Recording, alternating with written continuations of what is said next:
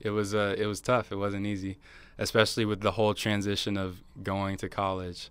Um, you know, playing on a new team in a new town, being away from home, being away. From, I'm four hours away, and I was still getting homesick. I'm kind of Yeah. a homebody in that way, but um, you know, it was a it was a tough process, and there it was.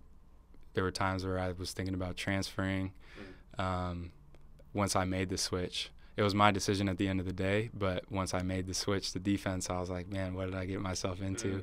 And for me, I, I was really set on um, playing quarterback just because I felt like I'd put in so much time um, doing going to camps, going out of state, going to training every on Sundays and Saturdays, early morning, and just all this stuff. Quarterback camps, quarterback this, quarterback that, studying.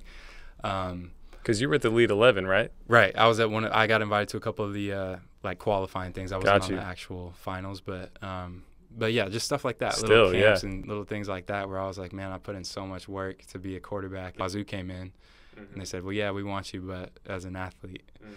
And I know I knew what that meant. I knew what that meant, and I was like, well, does that mean I get to play some quarterback, or like, will I get my shot at quarterback?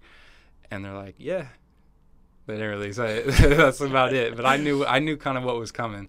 Um, but I decided I was gonna at least go, you know, play some quarterback for a bit. Um, and it started to make sense to me why they wanted me to play on defense or wanted me to play special teams or whatever when I was there.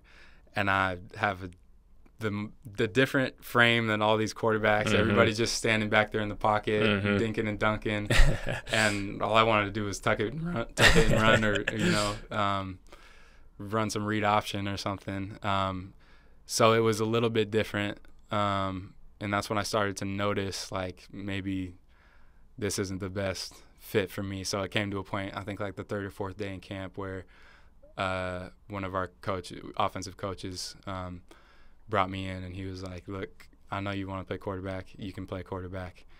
you'll get on the field as a freshman if you switch to defense.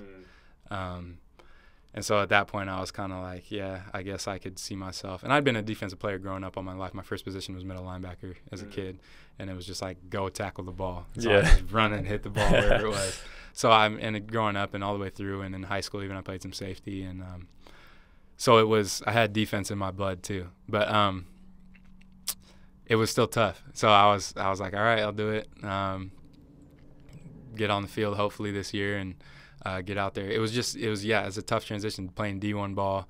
Um, going from I remember there are times when I look back and we're talking about you know failing um, early and failing you know often and learning from that in the flow state and everything. Yeah. Man, I've never been so far from flow in my life when I was first. I look back on like film. I remember later in my career looking back on, oh, I wonder what it was like my first couple weeks on defense. I didn't know how to. My stance was all out of whack. I didn't know how to cover anybody. I didn't know how to do anything. Um, and that's just part of the deal. And it, you Mhm. know, we fast forward, and I was a three-year starter um, at the end for the last three years. So um, it's just a it's a process. And for me, it was about you know when it got to that point of I really think I want to transfer and go play quarterback somewhere. It was you know I have this opportunity to play Pac-12 football at a school that I loved growing up. That my dad, my my parents met at. Two of my sisters went here and Coach Leach has just come in, and things seem to be really on the upswing, and he's got a whole plan, and he's serious about changing this culture.